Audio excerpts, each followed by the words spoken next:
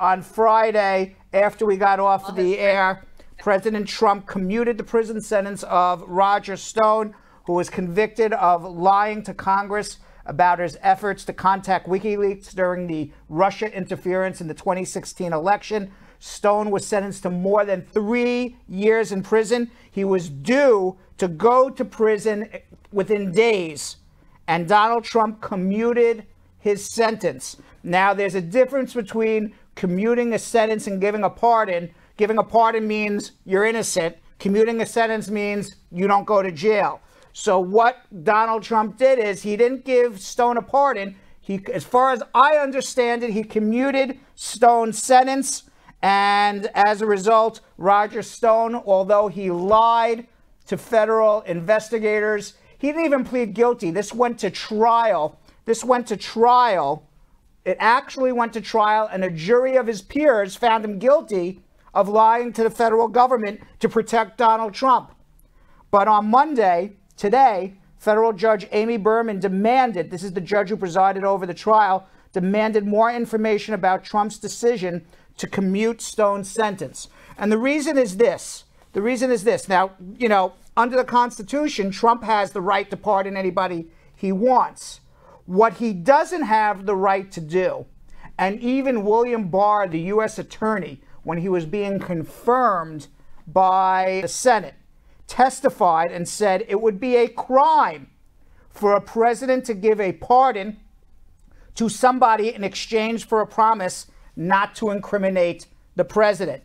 And there is lots of social media statements by Roger Stone who says in social media, I could have said a lot about the president. I kept quiet. So I hope he will give me a pardon.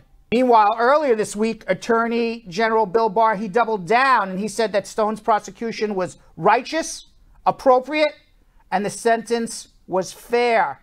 Mitt Romney, who ran for president of the Republican Party, he said this was unprecedented, historic corruption. Other Republicans also criticized the president's decision. Senator Pat Toomey wrote on Saturday afternoon In my view, commuting Roger Stone's sentence is a mistake. Representative Adam Schiff, a Democrat of California, he said, If you lie for me, if you cover up for me, if you obstruct for me, I will protect you. This is what Trump is saying by commuting Roger Stone's sentence. And I'll say one other thing. During the most famous corruption in U.S. political history, Richard Nixon, who, who resigned from office rather than getting impeached, he never had the gumption. All right, two U.S. attorneys went to jail, and several of his other associates went to jail for campaign crimes. Nixon never pardoned any of them. He knew that would have been, been a crime itself. Yo Yo, Vanessa,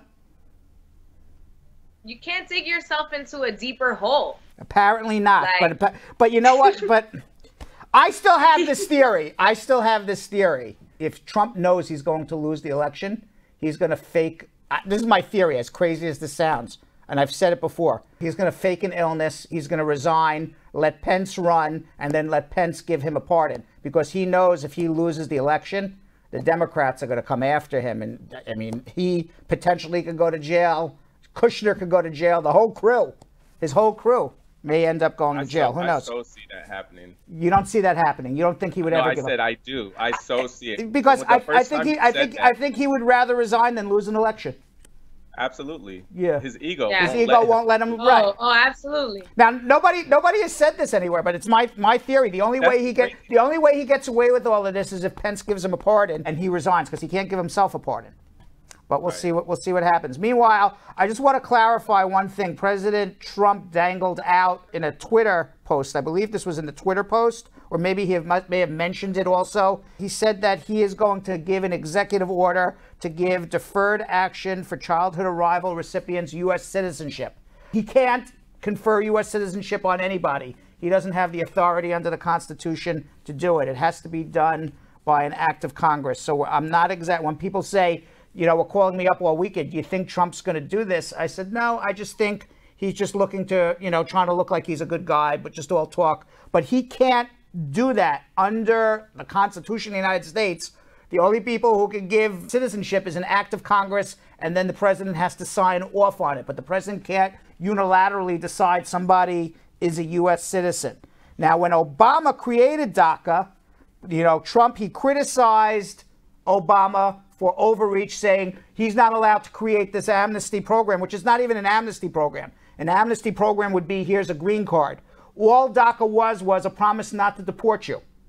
So it was no amnesty, You see, which is all about how people manipulate the facts to, to get people to get people to form opinions that may or may, depending on what they want them to believe. But the reality is, DACA is not an amnesty. It never was an amnesty. What DACA was, was deferred action, and it stands for Deferred Action for Childhood Arrivals. Deferred action under immigration law is, is a promise not to deport somebody, saying, you know what, we're not going to enforce your deportation because it's not fair. It's just not fair to deport you. Saying, right. I'm not going to deport you is a lot different than saying, here's a green card, you could live here for the rest of your life. Absolutely. Okay, so it's not an amnesty that Obama ever gave.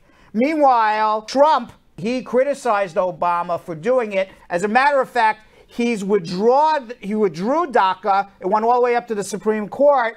And, and we're going to talk about this with that student visas too in a second, was that the Supreme Court said, well, you never gave a gave a good reason why you were withdrawing it. You just can't arbitrarily do it. You just have to have a decent reason why you were going to do it.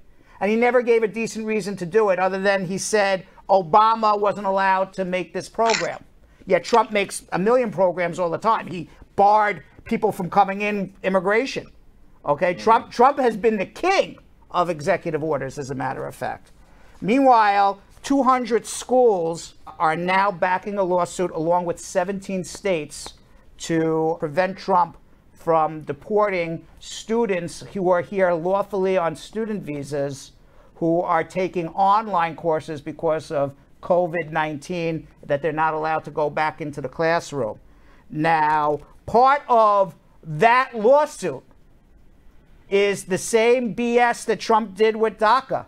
He said anyone on a student visa, this was the regulation, anyone on a student visa doesn't go to, who does an online class has to leave the country without giving any rational reason behind the change in regulations. If you do not give a rational, logical reason for why you're doing it, people could disagree with your reasoning. But right. under the Administrative Procedures Act, the APA, you have to give a rational reason why you are making this change. There has to have some logic behind it. You just can't arbitrarily change rules without any rational thought or reasoning behind it. That's why DACA lost in the Supreme Court. And as a matter of fact, that's why I believe the student, they're going to have a hearing tomorrow. Students are going to be allowed to stay. It's my belief. We'll see what happens tomorrow. Students are going to be allowed to stay who take online courses because it's the same thing that Trump did again. He just unilaterally changed the law. He never gave a rational reason behind it. Yeah, I, I was actually just having lunch with um, a young lady that I know that actually is from New Jersey, but she goes to school in Florida, and she was communicating to me how in her like university there's a lot of international students, and how you know COVID hit in March where there's these international students that had you know things in the their dorms and etc and then everyone had to like leave campus or went back home you know due to whatever and the universities are finding students that didn't clear out clear out their dorms like prior to covid and now getting ready to go into the fall which goes back to one of the conversations we had last week about schools opening up again universities in florida and it's just like where is this all gonna lead like amongst these super duper millennials you know? Well and i was like speaking to this young woman and i was like wow like what part of the lawsuit to allow students to take online courses and not lose their visa status is the fact that you're risking you're risking the health of not only the students, you're risking the health of Americans as well by forcing students to congregate in a classroom and force right. schools to remain open in order to teach students. You're actually against, ironically, against what is beneficial for Americans. Yeah. Here you are saying, I'm going to help Yeah. Americans, kick everybody out. But really, what you're doing is you're forcing schools to remain open. You're forcing more people to get sick with Right. coronavirus. Kick them out, but still charge them tuition. Yeah. Well, you know, that's a whole other thing. You know, because Trump, Trump says, you know, his his retort is, well, I can't believe these schools are charging full tuition for online schooling. And to his credit, he's right.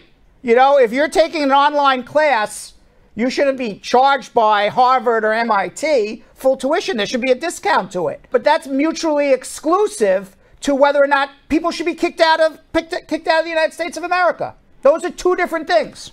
Let's talk about global coronavirus statistics. Worldwide, 570,000 people have died. In the United States, more than 3.5 million people have been diagnosed with corona. In the United States, 138,000 deaths. New York City Department of Health and Mental Hygiene officials today, however, congratulations to Governor Cuomo, who's done so far a wonderful job, reported Yes. zero deaths for coronavirus Yes. for the first time in New York. Nobody died of coronavirus in the last 24 hours.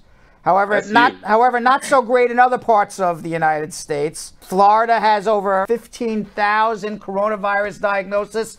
That's more coronavirus diagnoses than New York had at the height of our quarantine back in April.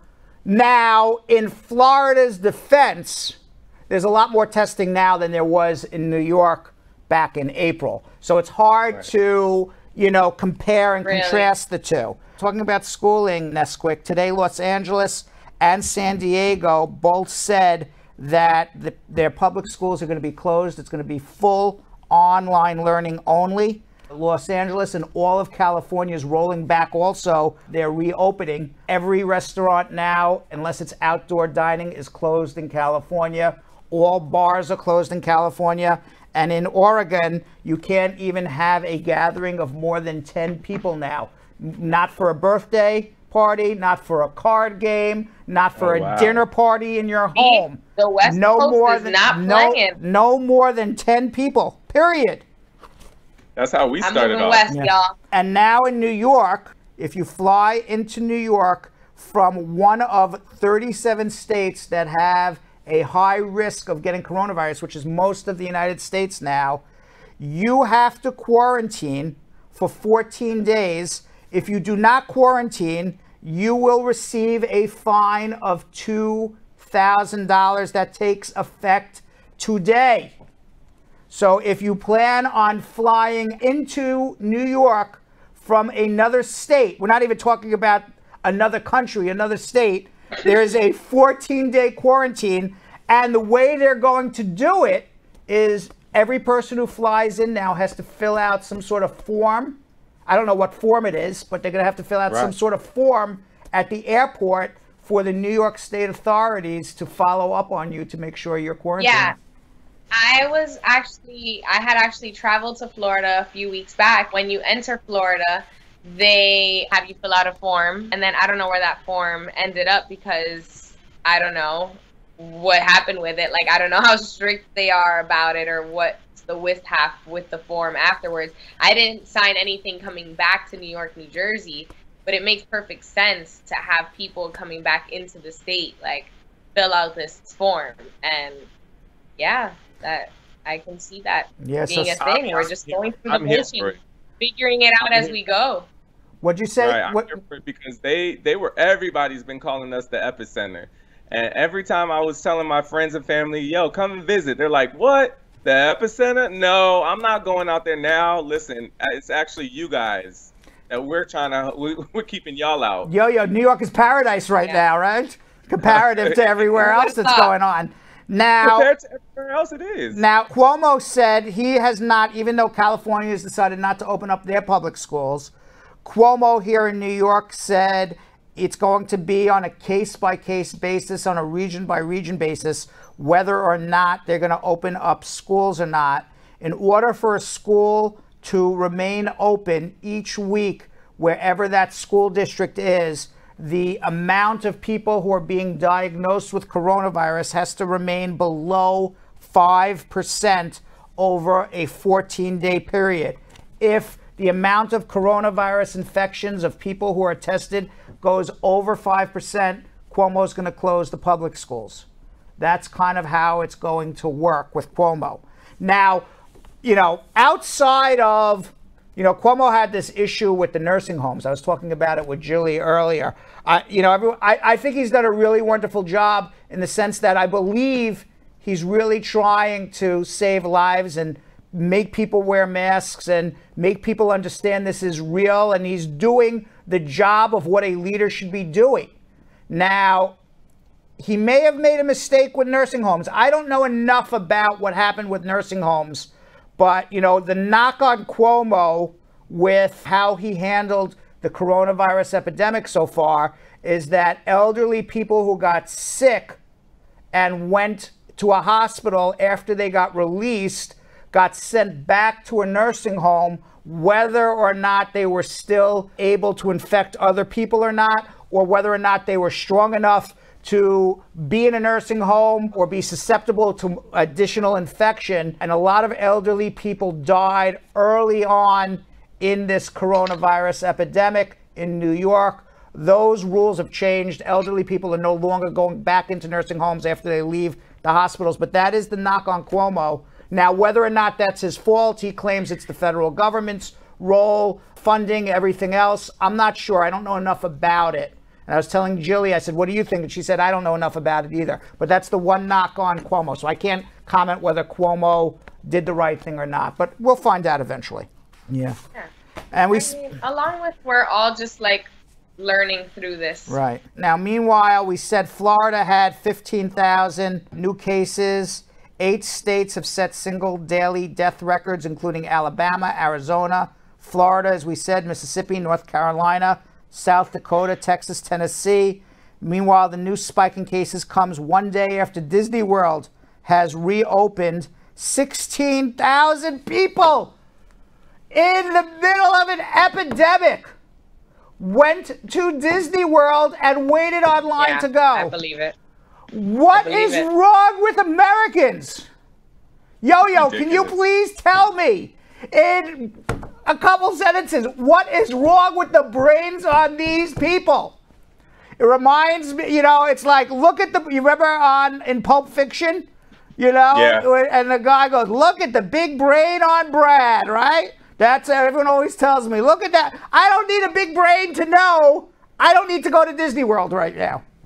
I mean, it's it. Yeah. You would think you would think it's common sense. Like you have to touch rides, you have to touch poles. You ha- you're in the same vicinity of like thousands of people, you would think it would make sense. Like uh, yeah, but people what, just feel like if if I wear my mask and like take my precautions and wear gloves, we'll all be okay. Now, a lot of people, a lot of people just don't believe coronavirus. I'm not, and I and I blame I blame this all on politicians because if all of our politicians, from the Republican Party to the Democratic Party, would be truthful with the American people, okay, and and what happens in America, I hate I hate to be you know stand on my high American horse. People follow what goes on in America around the world. You know, perfect example. Perfect example of this. Trump wasn't wearing a mask, right? So you know who mm-hmm. else wasn't wearing a mask? Boris Johnson in England not wearing a mask. You know who else wasn't wearing a mask? Jair Bolsonaro also not wearing a mask. There are a lot of politicians not wearing a mask because Trump in America is not wearing a mask. Guess what I saw in the newspaper today? Trump wearing a mask? I'm wearing it. Guess what I also saw in the newspaper? Boris Johnson decided he started wearing a mask too. So did the guy in Brazil. All of a sudden, Trump yep. starts wearing a mask. Everyone yep. starts wearing a mask. So what happens in America gets followed, whether the world deserves America or not, that's a whole other story. I don't know why the world follows America. But whatever happens in America, people follow around the world. So what happens in America affects everybody in the entire world. And we have politicians here in America who are saying they don't believe this. You know, people are discrediting Fauci. Republicans saying, I don't believe in coronavirus. People have conspiracy theories online that this is all fake.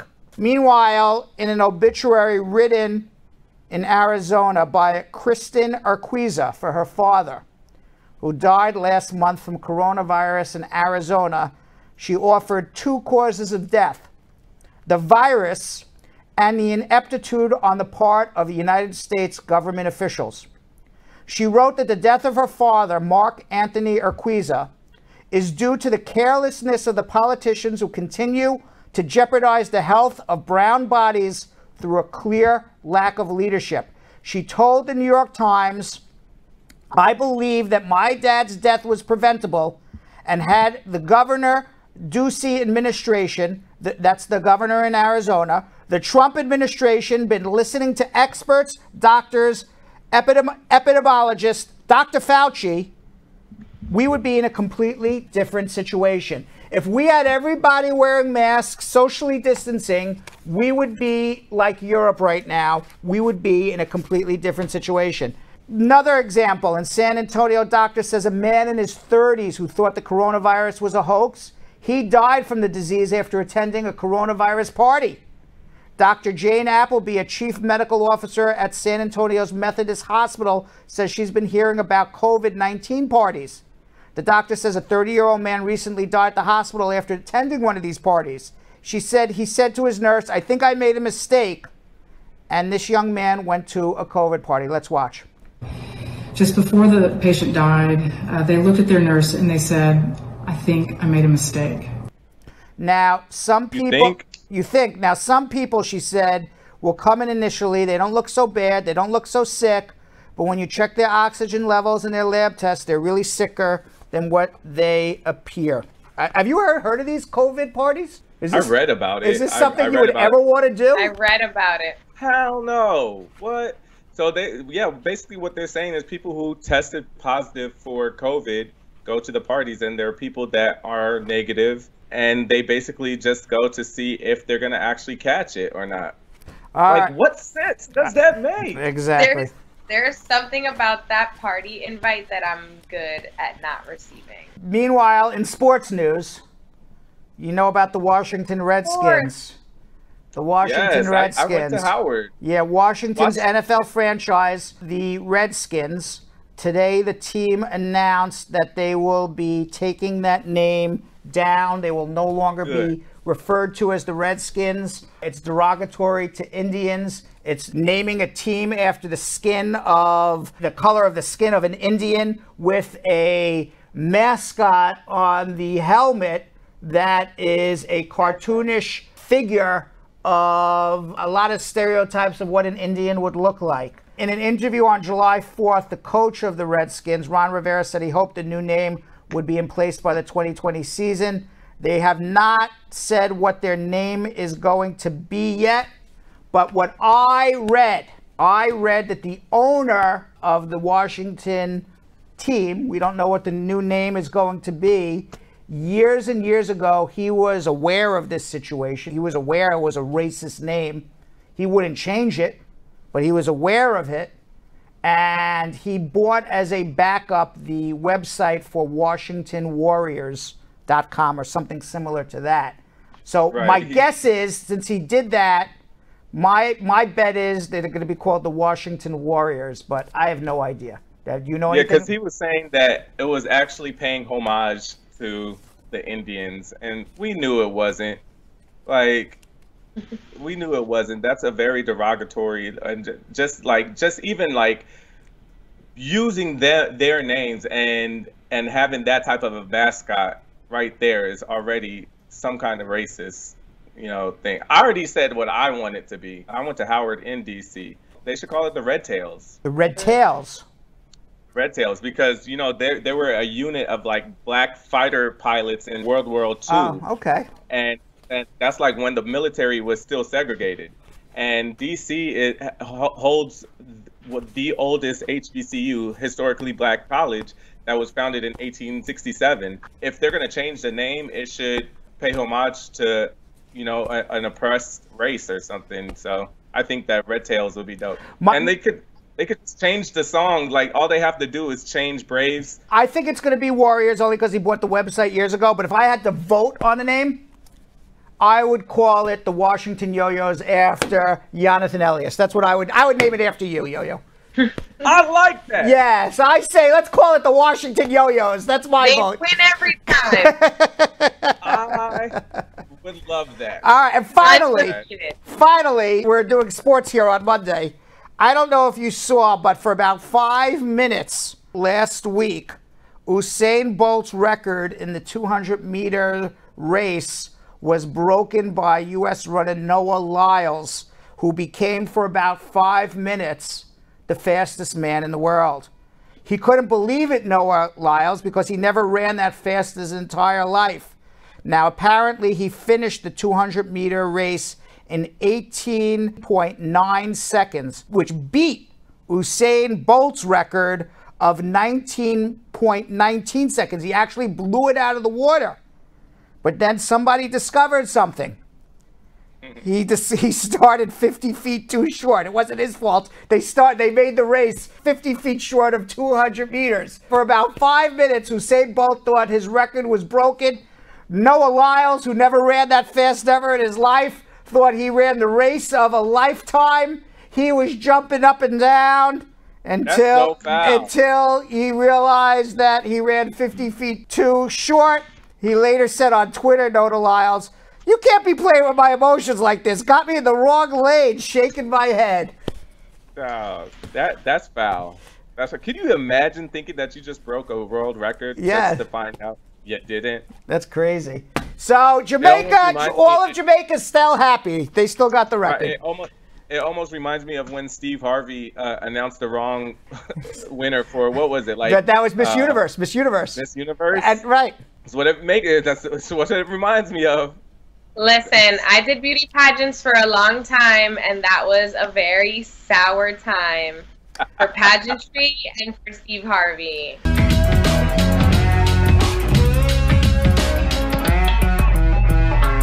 Thanks for watching. For more Brad Show Live, like and subscribe to our YouTube channel.